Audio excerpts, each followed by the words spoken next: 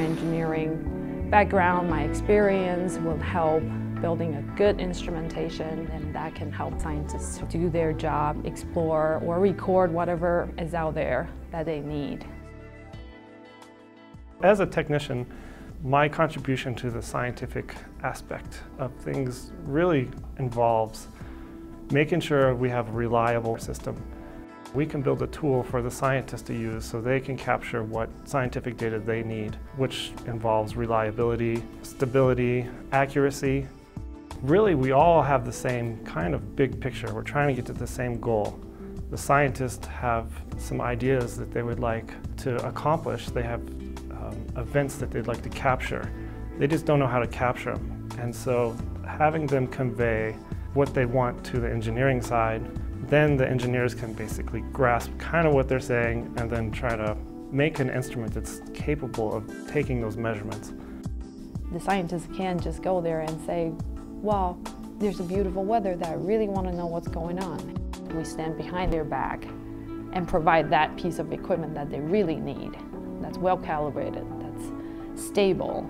So we could go there and fulfill everybody's dream. They could finally record this tornado that they always wanted to do. And us can be there, you know, provide that for them. A new instrument gets developed by ideas. As scientists come up with different ideas, they kind of drive the theoretical design aspects and it's up to the engineers to make that happen. It often started from a scientist talking to an engineer and say, hey, look, I have this idea that I want to research the hurricane and I want to put it on a plane. So the engineer would start thinking about, hey, what kind of precipitation, how heavy is the rain that you're talking about? What kind of resolution do you want? What kind of airplane do you want to put on? And from that, we get creative. And that's the most exci exciting part of the job is you get creative and you try to figure out how to build this tool. Engineering can also be advanced by technology. More advanced technology can result in a better, more accurate, higher resolution, faster data sampling, and your end result is a better product. I used to do tornado research when you're using a lower frequency radar, um, a 10 centimeter radar, you're seeing the whole severe storm. You could see the formation of the tornado. And now there's researcher out there using a millimeter wave radar, which has a higher resolution. And because of the higher resolution radar, we could actually see their small vortices that's wrapped around the tornado, which they never saw before. So that's a really exciting finding just because our radar development is enabling this thing to happen. You didn't have the tool, so you never knew it was there.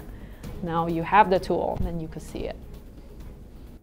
Some of the challenges coming from a design standpoint, you see a 3D model, it looks great on the computer screen, you start building the parts, you start putting it together. Wait a minute, I can't get to that bolt, I can't wire this. So that's where the design aspect, you kind of have to think in the future.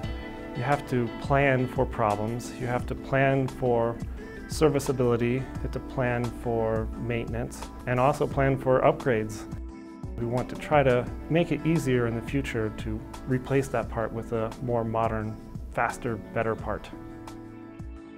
It is such an exciting experience and it's such an important thing that we do together. This is my passion, you know, to, to work with scientists and do the best I can so then they could really do what they want to do.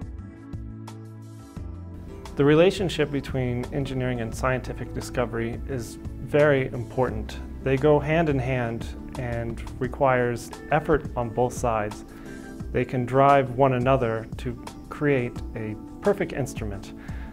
Really, there is no perfect instrument. It's always ever evolving and the push from either side, from the scientific side or from the engineering side, can always make the system better.